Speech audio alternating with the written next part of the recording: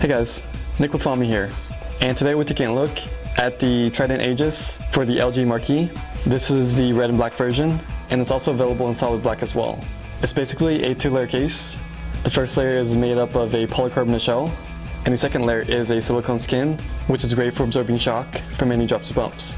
It also includes a screen protector, a cleaning cloth, and an application card to apply it to your screen.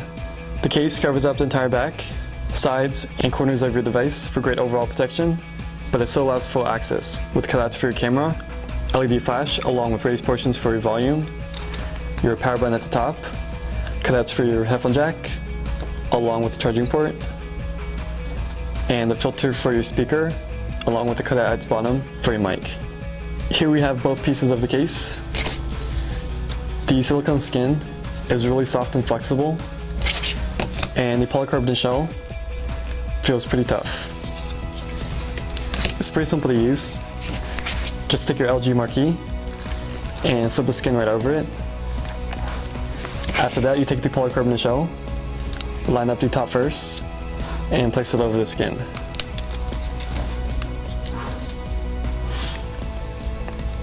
And after that, you should be good to go.